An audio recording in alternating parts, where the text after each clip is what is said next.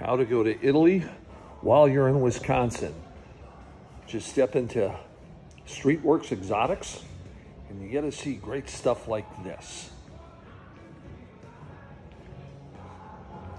And here, a little Bachman Turner overdrive in the back.